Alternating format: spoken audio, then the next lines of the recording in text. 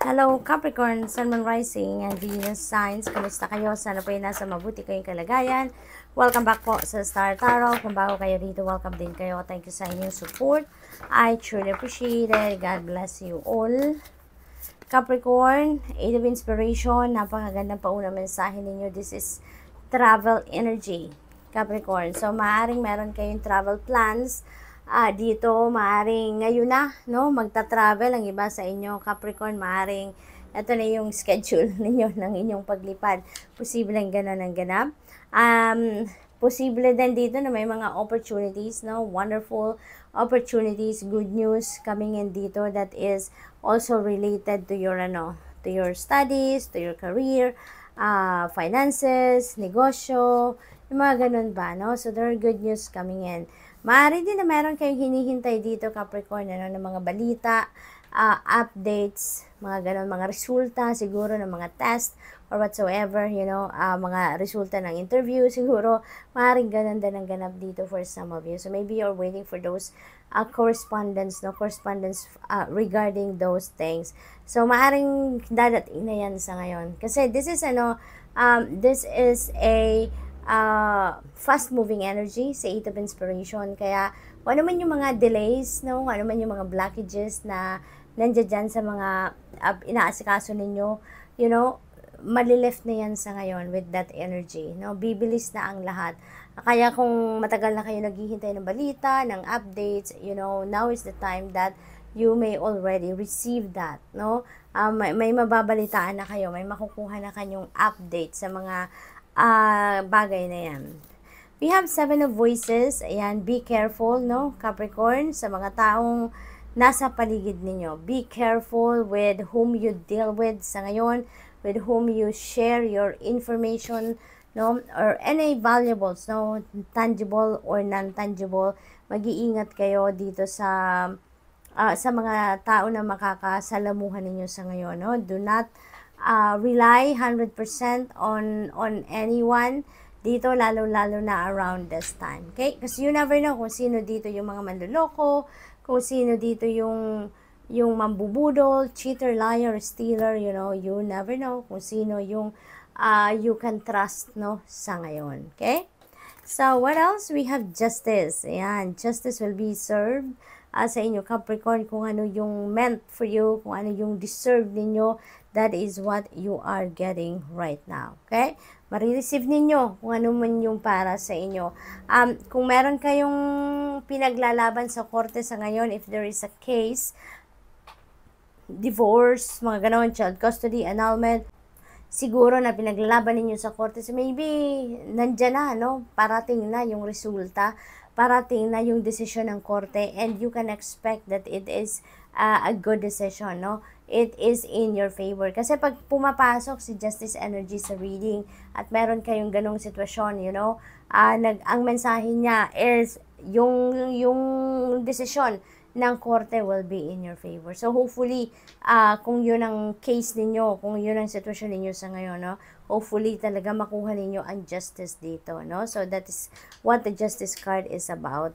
So, uh, life will be back in order then, Capricorn. Maaring in the past may mga distractions, maaring in the past may mga bagay o parte or areas kayo na buhay ninyo na nanineglect ninyo. But now, you know, everything is going to be back in order. So, that's really good. We have page of inspiration. Ayan, there are going to be a lot of news talaga na parating. May mga balita, may mga opportunities na parating sa inyo dito. And, dito sa page of inspiration, this could be good news about opportunities, no? Uh, posibleng related sa money, career, and finances ang, ang oportunidad na to na mababalitaan ninyo and that could, ano, that could bring you uh, financial success, that could bring you prosperity and abundance dito, no? So, kasi mag enjoy kayo sa kung anong gagawin ninyo dito. You are excited dito then, no? Kung ano yung balitang ito, that could ignite your passion dito, Capricorn. Kaya, 'di ba, kapag kapag ginagawa natin kung ano ang gusto natin, if we are doing what we really love to do, we succeed, 'di ba? Kasi bubuhos natin diyan lahat-lahat eh. Bubuhos natin diyan yung effort natin, oras, panahon, No? Kaya tumataas din yung vibration natin kapag gano'n ang sitwasyon. Kaya when when your vibration also is rising, you know, that means na you're you're also uh, having that extra spiritual power, 'di ba, na mag-manifest ka ng mga gusto mong ma-manifest sa buhay. Kaya mas lalo kang magsasucceed, mas lalong marami pang opportunities ang maaring pumasok sa buhay ninyo, 'di ba, na mas ikakaganda pa ng inyong sitwasyon. So what else? We have page of voices, another information, another uh, ano, detalye. Ang daming balita na parating sa inyo, Capricorn. Ang daming chichika sa inyo, ang daming emails, sulat, tawag siguro na parating uh, sa inyo at this time. No? Maraming balita, no? We have Eight of Inspiration, we have Page, we have uh, Page of Inspiration and Voices. So, those are all news Those are all facts na parating sa inyo, uh, Capricorn. So parang, maari din na nasa communication, ano kayo, industry. Kaya ang dami-daming, ano, uh, komunikasyon na parating sa inyo. Posibleng ganun din. Or maybe hindi naman. Yun lang siguro, marami kayong balitang hinihintay or marami kayong hinihintay na na sulat or correspondence from other people, no, that you are um, that you are transacting with, no, yung ganon. So we have uh, final message ninyo is angel number 1818, willpower. Uh, this is about uh, success, no? Uh, prosperity. Ang iba sa inyo ngayon, Capricorn, talagang siguro may, may pagtatagumpay, ano? Kayo ngayon, dahil kung ano yung gusto ninyo, yun talaga ang paiiralin ninyo sa ngayon. You are really going to insist of what you really want to do right now, kung ano yung gusto ninyong mangyari pa, para nakukuha ko dito yung energy ni Queen of Wands na walang makakapigil sa inyo kung ano yung gusto ninyong gawin ngayon. Talagang gagamitin ninyo ang willpower ninyo and you are really going to ano to uh, work hard para mag-succeed kayo sa kung ano man yung gusto ninyong pagtagumpayan. So good luck. And that's all have for you for today. Thank you for watching. Love and light. Namaste. Hello Virgo, Sun, Moon, Rising, and Venus signs. Kamusta kayo? Sana pa nasa mabuti kayong kalagayan. Welcome back po sa Star Tarot. Kung bago kayo dito, welcome din kayo. Thank you sa inyong support. I truly appreciate it. God bless you all. Virgo, tignan natin ang mga mensahe ni Virgo. Uh, sa ngayon, we have Page of Inspiration. Ayan, Virgo. Maraming impormasyon, balita, good news coming in towards you na mag ano, magi-ignite ng inyong passion, magi-ignite ng mga natutulog ninyong um, creative prowess, no? Yung ganun, yung creative juices ninyo sa, sa isip ninyo. Ito na, yung mga pagkakataon na gigisingin na ang mga yan ng kung anumang balitang ito. This could be news regarding opportunity, no? Maaring pagkakakitaan ito, maaring opportunity ito para ma-express din ninyo, no? Yung kung ano talaga yung, yung passion ninyo. Maaaring ganon. So, this could be linked to trabaho, karera, negosyo, no? Yung ganon. So, good luck. What else? We have eight of voices. Ayan. So, ang iba sa inyo dito, this is maybe uh, where you are coming from. Pakiramdam ninyo siguro in the past, ano? Ito yung ito yung ngayon, ito yung nakaraan na. Ito yung nap- napipick up ko dito na siguro ito yung nararamdaman ninyo, no? Uh, um, in the in the past few days or in the past few weeks na parang hindi kayo maka hindi kayo malayang gawin ang gusto ninyong gawin. Hindi kayo nagkakaroon ng uh, lakas ng loob, no? Na na gawin kung ano man yung mga uh, yung passion ninyo, kung ano yung gusto ninyong gawin sa buhay, it's because something is holding you back, no? Parang neg- nagna-negative thoughts siguro kayo or maybe you're feeling powerless, no? Yung ganon. Kaya, with the energy of the page of inspiration, parang magigising kayo sa katotohanan. Maaring ito yung opportunity na to, yung balitang ito na parating sa inyo. Ito yung gigising ng puso ninyo. Ito yung, ito yung mag, magbibigay liwanag sa isip ninyo na, teka lang, Virgo, bakit kayo nag-hold back? Bakit kayo nandiyan dyan sa stagnant energy? No? We're in, there are a lot of opportunities out there na naghihintay sa'yo para magawa mo kung ano yung gusto mong gawin. So, it feels like you're coming out of this energy na sa ngayon with the page of inspiration energy. Ito yung magpapaliwanag no, sa buhay ninyo sa ngayon. Ito yung mag enlighten sa inyo, no? kung ano man ang mga balitang yan na parating. So, you have strength. This is what you really need right now, no? Para talaga na maging buong-buo ang inyong loob na yakapin na kung ano man yung bagong opportunity na to. You're coming out of this eight of voices energy na feeling ano kayo, restricted kayo, no, may nag-hold back sa inyo, yung, yung parang merong nagpipigil sa inyo para maging matagumpay ka. And this is what you are going to do. You're going to activate your inner strength and courage dito para malampasan ninyo or makaalis kayo sa sitwasyon na to, sa energy ni Eight of Voices, no? So, maglalakas ng loob kayo dito, Virgo. Siguro sobrang maganda ang opportunity na to, kaya titibayan ninyo ang inyong loob ngayon magpapakatatag kayo at iisipin ninyo dito na kaya ninyong gawin, no? Kung ano man ang ang uh, nandyan sa inyong harapan sa ngayon na oportunidad. Queen of Voices, you just need to ano to be true to yourself, okay? Ito din yung hinihingi sa inyo na dapat ninyong gawin pagdating naman sa pagkakataong ito. Maging totoo kayo sa sarili ninyo. Be honest with yourself. Kung ano yung nararamdaman ninyo, ilabas ninyo yan. Kung ano yung feeling ninyo, ilabas ninyo yan. Express yourself, okay?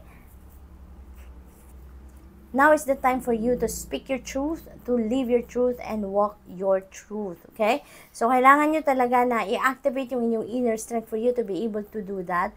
Kasi nga siguro, di ba, napanghihinaan kayo ng loob in the past, um, kaya nga pa, pa, feeling powerless kayo. Pero ngayon, with the strength energy, uh, magigising na kayo sa katotohanan na tama na no yung yung pag-hold back ninyo and it's about time na for you to get on your feet to get up and spread your wings and fly high no requirement sa inyo ito ngayon na magpaka magpaka-honest kayo. Kung ano talaga yung gusto ninyong gawin, kung ano yung passion ninyo, embrace it, gawin ninyo. You have all it takes to be successful. Virgo, wag ninyong titignan kung ano yung meron ng iba no? At i-compare ninyo sa sarili ninyo because we are all unique. Okay? We have our own path na pinagdadaanan sa buhay. Pero, titignan nyo, no? Kung ano yung, kung nagtatagumpay ang iba, isipin ninyong kaya nyo din, no? We are all created equal. Lahat tayo may talents, may gifts and skills. Iba-ibang linya lang. Kaya, isipin niyo na you also have uh, all it takes no, to be successful just like other people. Okay? So, what else? We have two of materials. Ayan. So, you're going to be busy. Uh, sa ngayon, Virgo, siguro maraming bagay-bagay ang mangyayari sa buhay ninyo that you need to put your attention to. No? So, ngayon parang maaaligaga siguro kayo sa mga balitang parating, sa mga opportunities na parating, kaya medyo mabibisi kayo dito. You may be going to, ano, to multitask dito ngayon, no? Sa mga sitwasyon na to. Uh, this could also be a message of uh, bringing the balance back in your life. Maaring kailangan din ninyo uh, gawin ito sa ngayon kasi maybe uh, you are all over the place, yung isip ninyo here and there, yung parang ganon, no? So, kailangan ninyong ibalik yung balance sa, sa sarili ninyo so that you can focus, you can concentrate on what you need to do, yung ganon. At makapag ano kayo, makapag um, isip kayo ng mas productive, mas efficient, mas mabuti. Okay? So, tingnan natin kung ano pa ang inyong final message, Virgo.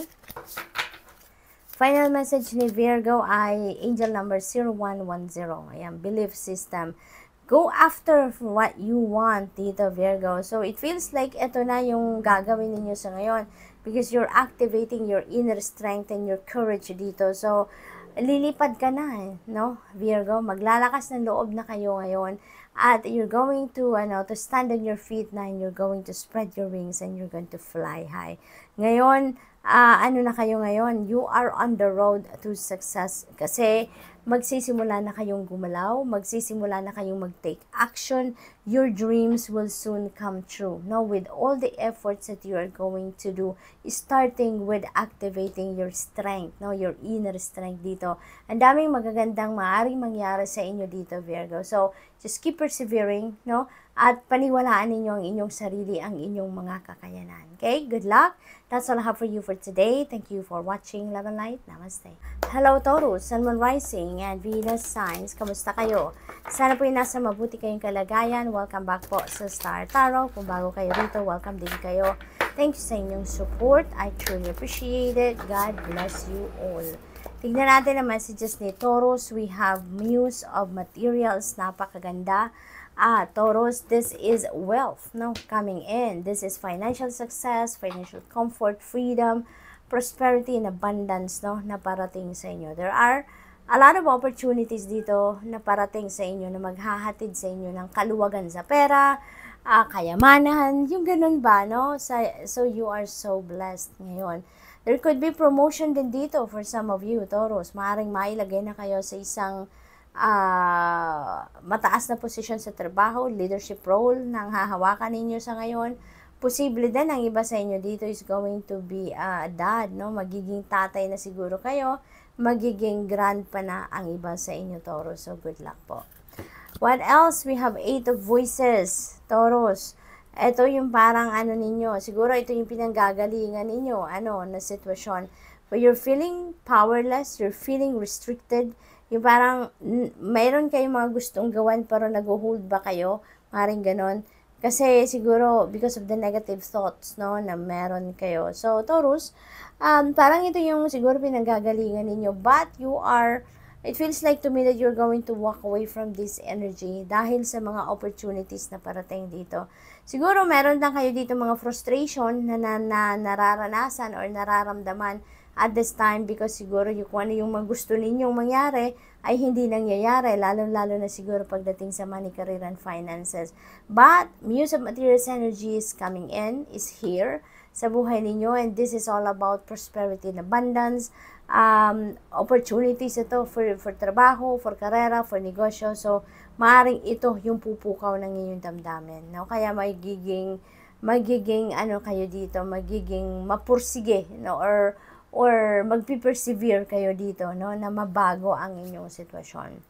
So, what else? We have five of materials. Ayan. So, most likely, uh, Taurus, ang iba sa inyo talaga, siguro hindi kayo hindi kayo makausad sa buhay in the past with this energy, no? Uh, feeling restricted kayo, maybe because of money, because of resources. Maaring yun ang problema or maaring yun ang iniisip ninyo na paano ako uusad? Paano ko magagawa yung mga gusto kong gawin? Paano ko magagawa yung mga plano ko if I don't even have capital, if I don't even have money, ba? So posibleng ganon ang sitwasyon ng iba sa inyo dito, Taurus. But it feels like to me that your your mindset dito is going to change, no? We have five dito and five resonates with change. Kaya siguro kayo mababago din ang isip ninyo uh, dito at babangon kayo, no? Dahil uh, magkakaroon kayo dito ng, ng enlightenment. Maybe uh, there are other people dito na lalapit sa inyo at mag, magkikipag-usap sa inyo. Maybe someone is going to give you advice, you know, dito at magkakaroon ng enlightenment kayo, ma, ma, ma magkakaroon ng clarity yung isip niyo dito. Uh, na yun ang mag, mag, ano, mag, magdudulot sa inyo ng kalinawan sa isipan. That's why parang ma, ma, ma, babago yung path na pagdadaanan ninyo sa ngayon, ano? And you are heading towards this energy. So, what else? We have justice. Ayan. So, wag kayong mag-alala you know, justice will be served. No? Kung ano man yung sitwasyon ninyo sa ngayon na hindi maganda, makukuha ninyo kung ano ang para sa iyo. This is karma at play. Then dito, Taurus, kung ano yung mga ginawa ninyong mabuti, maganda towards other people in the past, that is exactly what's coming back to you sa ngayon. Kaya, uh, kung ano man ang kailangan ninyo dito sa Five of Materials Energy, pera, pambayad sa bills, pambayad sa kung ano mga financial obligations, you know, I am pretty much sure na merong dadating at dadating at merong tutulong sa inyo. Merong, merong paraan, ano, ang universe para kayo ay matulungan dito in, in different ways, no? Para mas, mas, ma, uh, makuha ninyo kung ano yung kailangan ninyo sa ngayon. Matugunan ang inyong mga pangangailangan.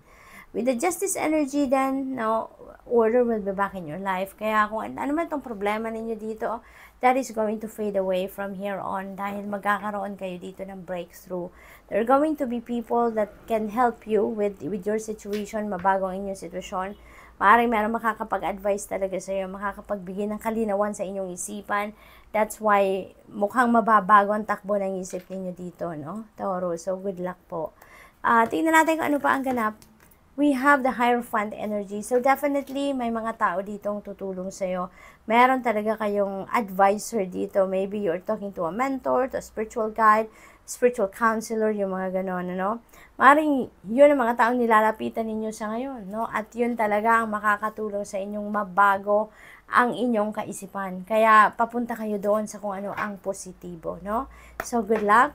Uh, what else for Taurus? Final message ni Taurus for today. We have angel number 1144. Ayan, high vibes. There's going to be divine intervention dito. So, yung, yung parang, uh, the divine is going to intervene in your circumstances para mabago ang inyong sitwasyon, lalong-lalo na yung sitwasyon na hindi masyadong kagandahan, ano, sa buhay ninyo na nagaganap sa ngayon. And there could be uh, ano, uh, prosperity, abundance coming in. Kaya kung anong problema ninyo dito sa Five of Materials, definitely that is going to uh, be behind you now from here on. Marami ditong maaring mangyari sa buhay ninyo na hindi yun ang ine-expect ninyo. But because the divine is intervening in your circumstances, kaya sobrang ganda, di ba? Sobrang ganda ang maaring maging, maging resulta ng mga kaganapang ito sa buhay ninyo. And uh, you don't need to ask, di ba? Bakit ito nangyayari? Bakit siya? Bakit ako? You don't need to do that anymore. Just embrace it. Na embrace it and just be grateful for these beautiful things that are about to come in. So good luck. That's all I have for you for today. Thank you for watching. Love and light. Namaste.